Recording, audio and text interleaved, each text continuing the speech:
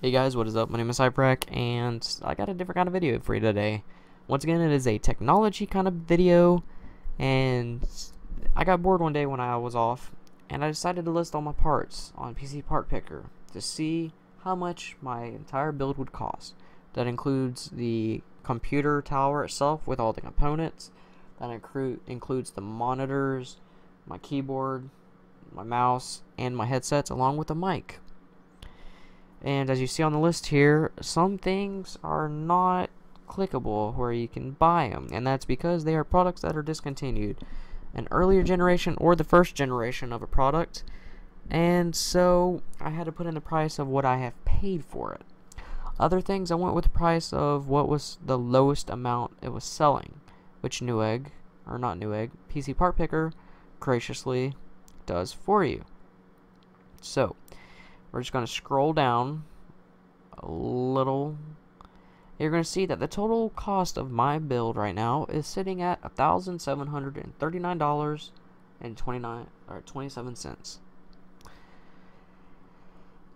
Granted, I could say both of them headsets. I don't use at the same time, but that is part of my setup. I use them, so that being said, I have put together a build that takes the money limit that this computer, that this setup could sell for, and put it into, if I had that money, what I could get with it, the parts of a new build. So, without further ado, I will show you what I have managed to put together. So, starting out with the motherboard, I've chosen the Gigabyte GACE Z97 LGA 1150 ATX Intel motherboard. This can tell you a couple things of the basis of the build. First off, it's Intel, so it's an Intel based build. It is an 1150 socket, so it's narrowing it down even more, and it's also ATX, which means you get an idea of how big it's going to be because ATX motherboards only fit in mid tower or full tower unless you cram it in a mini micro or some other kind of tower that I have not listed or don't know of. But the reason why I chose this motherboard is because it supports overclocking. It will help you get the most performance before your components start to shut down from overheating or because they get unstable. So, with that being said, it has plenty of expansion slots. So, if you ever wanted to upgrade down the road, you have the slots to do so. It supports, I want to say, 64 gigs of RAM, which overkill for me. 16, maybe even 32 would be the best. And offers four USB 3.0 ports on the rear and two 2.0 ports on the rear. So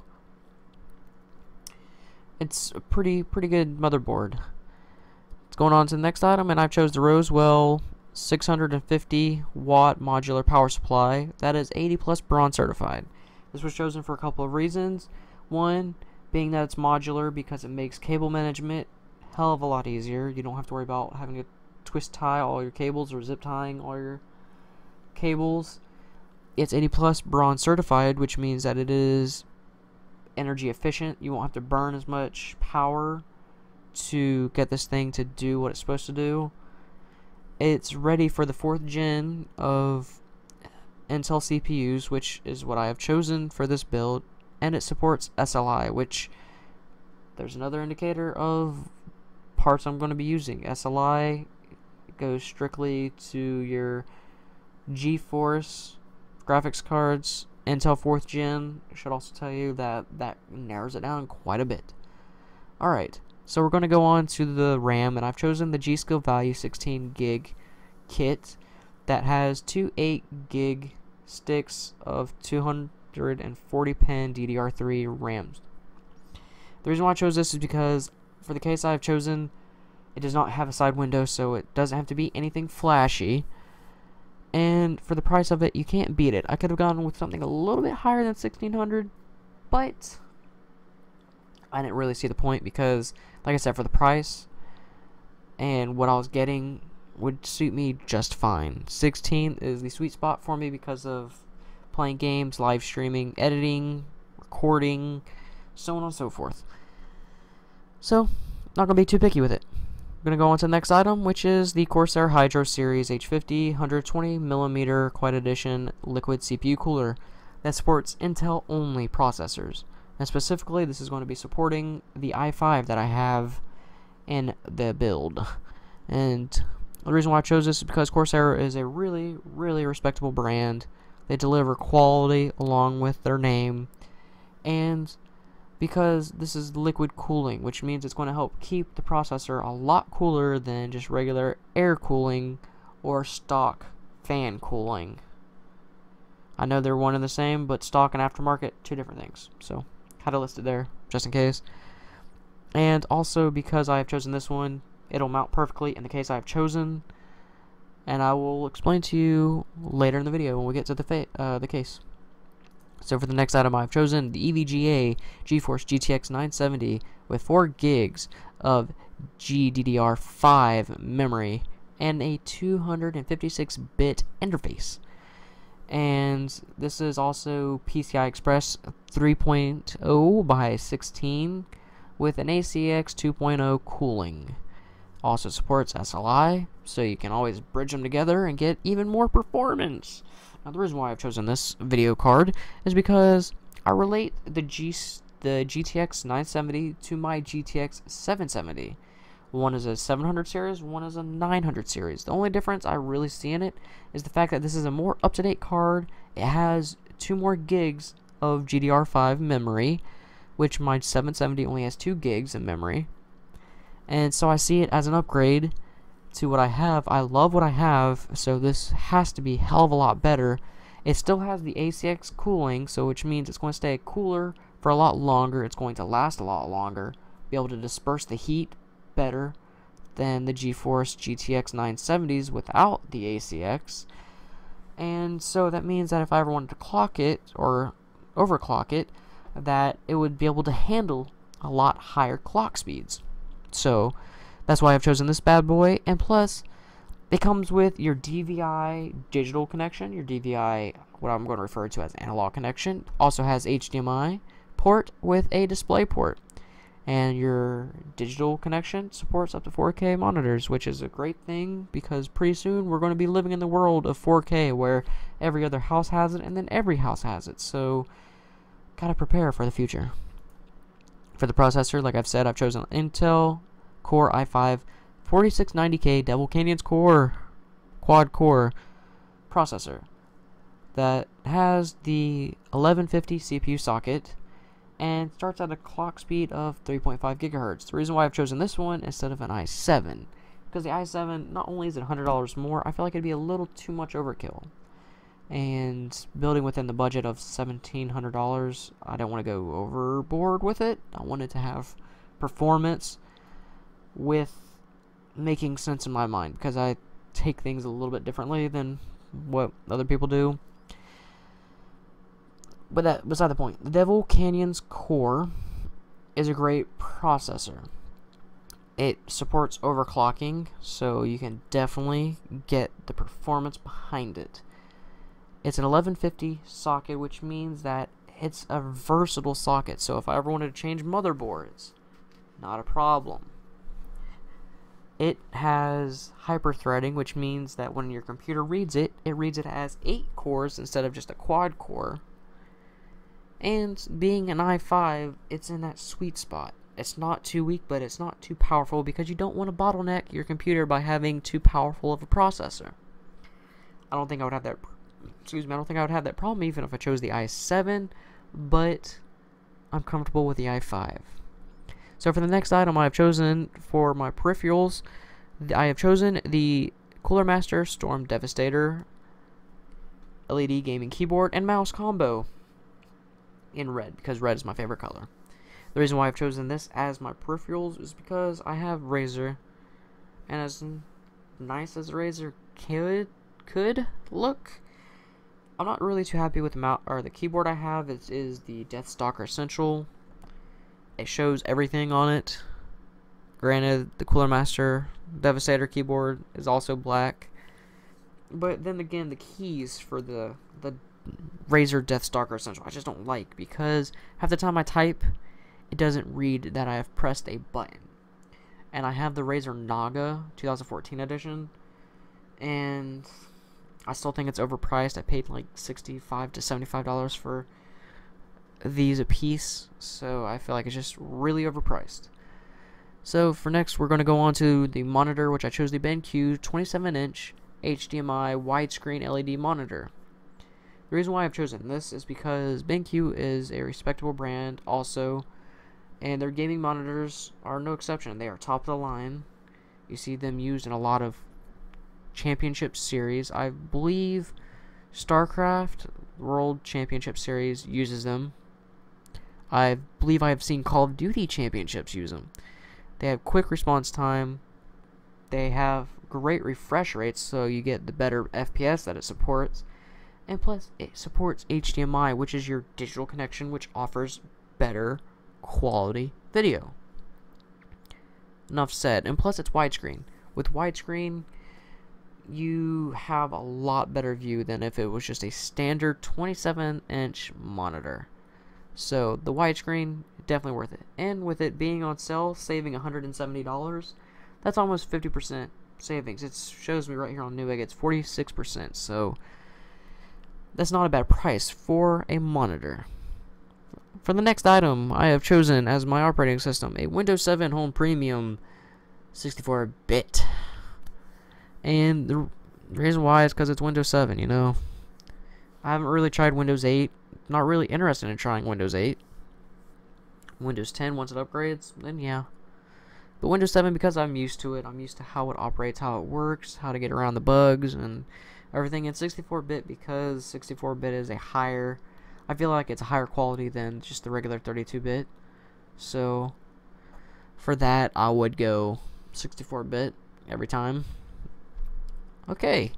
So for I also chose a sound card for this because I have had experience with onboard sound and then having a sound card and having a sound card is a lot better audio quality than the onboard sound because this can get a lot more power to it has a lot more options because it also comes with the program to fine tune your settings and so with the sound card I feel like you hear everything a lot better. It's a lot crisp. It's a lot clearer. It is definitely worth it. And with the creative sound, no exception. Creative Sound is like I want to say one of the leading brands for sound cards, and they definitely deserve it. So, with that being said, let's get to the next item. For the microphone, I chose the Snowball iCE USB microphone. The reason why I've chosen a Snowball, some people are like, oh, you should go for Audio Technica. I don't get too in depth with the way I sound.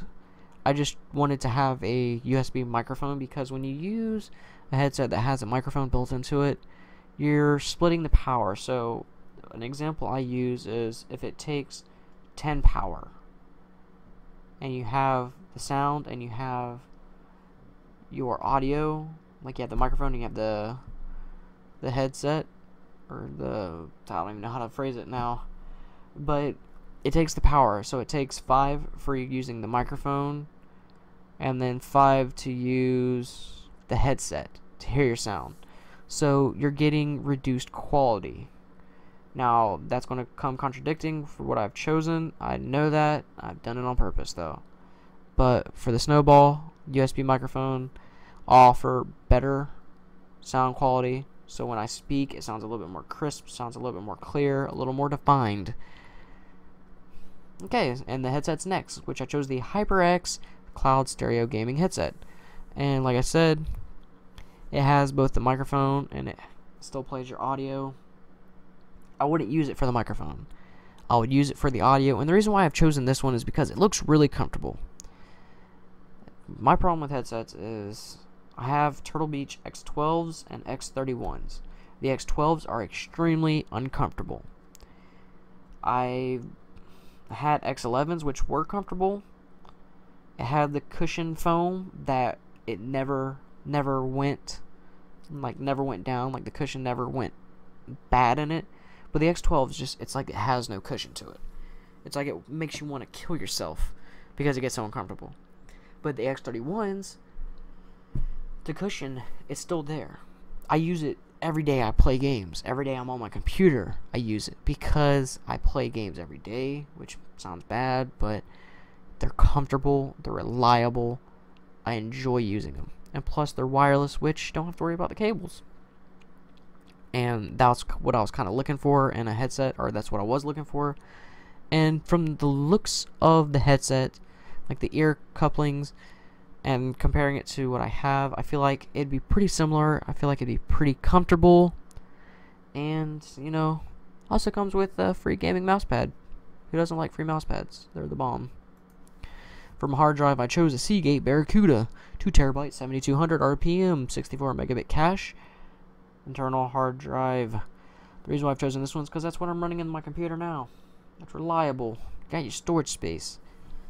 Right now, the memory that I'm using for my hard drive, I have all the James Bond movies that I like, which is all the Sean Connery and then the guy Dennis Rodman.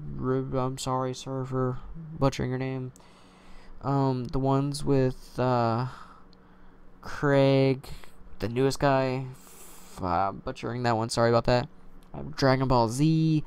I have all the videos I record that I try not to butcher the videos for my streams and my games and it stores it all it reads it all it does everything I need it to no problem so it has plenty of storage space and it's a really reliable hard drive other than that being said I have no other reason for choosing it I mean it's it's reliable now I'd also chose an SSD which I chose the Oppo Top 128 gig SSD. And the reason why I chose an SSD to go with this build is because it's becoming a new standard for PC building. Because SSDs are faster, it's digital, it reads faster, it loads faster. So using this as an operating system, or the boot disk for my operating system, will read Windows in a snap. You can count to 10 and it's already up from pushing the power button. 10 seconds later, you're already up on your desktop, ready to do whatever you want to do. So that's just how the performance has increased over the years. And of course, with this build, I have the the funding to do so. So there you go. Now for the next item, which is just an optical drive. I chose just a regular Samsung DVD burner optical drive because I have one on my computer now, and I figure why not just throw one in there for the hell of it. 20 bucks. Who gives a shit? And for the case, uh, I chose the NZXT Source 210 Elite Black Steel case. And it supports USB 3.0, which is also becoming a standard for computer builds now. This is a mid-tower case, which gives you room to expand. And the reason why I chose this is because I've built an, an, an NZXT case before it was a little difficult at first, but learning how the case was got it easier.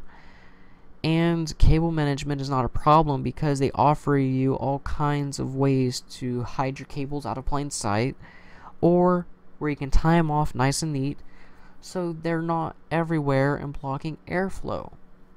And I chose it in the black because I feel like the white would show too much, even though people would say the same thing about black.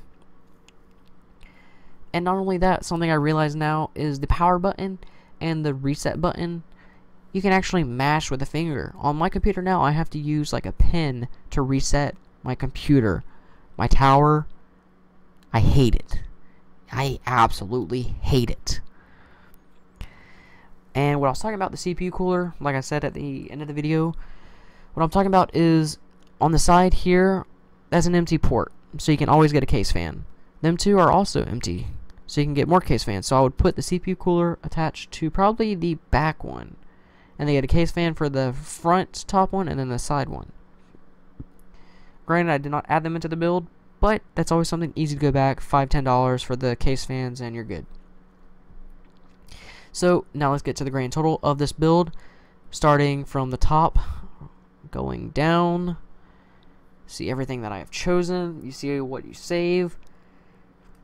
The grand total for this build is $1,000, $1,655.86. Couldn't say that for a second. And with that, I feel like you're getting the performance behind it because you're getting an i5, you're getting a 970, you're getting 16 gigs of RAM, you're getting a 2 terabyte hard drive with 128 SSD, you're getting uh, some shitty little optical DVD drive. No one gives a shit. But you're also getting a gaming keyboard with a gaming mouse. You're getting a reliable headset, a comfortable headset. You're getting your USB microphone. You're getting a 27 inch widescreen HDMI LED monitor. You're getting a lot for the money, and it's just a great thing. I could have chose cheap parts and say, hey, I got a thousand dollars left over. But that was not the point of this. The point of this build was if I had sold everything that I have now and used that money to get another PC, what would I get? And this is the answer here. I want to say one thing before I end the video. I left out my speakers, and that's because my speakers are like $20 speakers from Walmart. Completely shit. I rarely use them except for when I'm having to get ready and I can't wear a headset when I'm putting on a shirt, you know. What a shame. What a shame, shame, shame. But I didn't include the speakers. I probably, even without adding them to the PC part picker list and, you know, getting an extra 20 bucks to spend, I still have enough budget where I could have gone back and got, like, a decent, like, surround sound. Like, PC surround sound. But I didn't. So, see me over that one. So anyways, my name is Cypherac. If you guys have enjoyed the video, feel free to give it a thumbs up. If you've enjoyed the video and you want me to do more of these things, leave a comment down in the section below. Let me know what I what I could improve on in the video. Because your feedback is important to me. If I don't know what you like and what you don't like, then I won't be able to improve my quality of videos.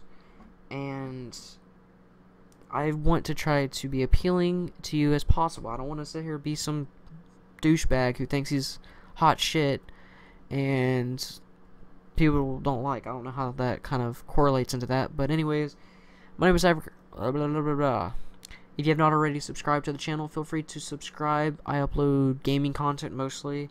This is the second video like this that I am going to be uploading. It took me a couple times to record this, 20 minutes at a time. And I do apologize for the length of the video. I explain a lot in the video, and hopefully you guys do not mind. That being said, I want to say thank you guys for watching. It means a lot to me if you've watched all the way through the video. Thank you so much. And I hope you guys have a good day. Take care. And I will see you guys later.